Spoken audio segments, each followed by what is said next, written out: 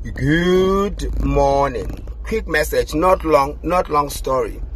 Um, something happened just now. Just now, I come out from the gym. I get into the lift, and this guy, who is, I think, is a painter, is carrying a ladder and paint and brushes, overalls. He walks into the lift. He greets, goes hello. I go hello. I carry on with my business.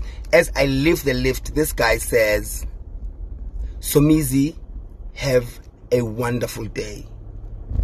I like, thank you so much. You too have a wonderful day. Now, the moral of the story is messages could come from places you do not expect.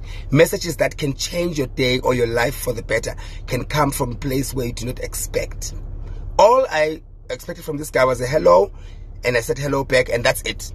He did not have to wish me a wonderful day, and he could tell it comes from a good place. He said it with a huge smile on his face. He's wishing me a great day.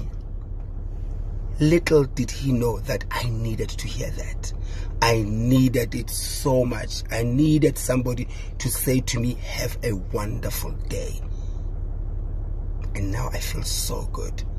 And I hope God blesses him for blessing me or making me feel blessed by his message. Never take anything for granted, small or big, simple or complicated. Have a wonderful day because mine has been declared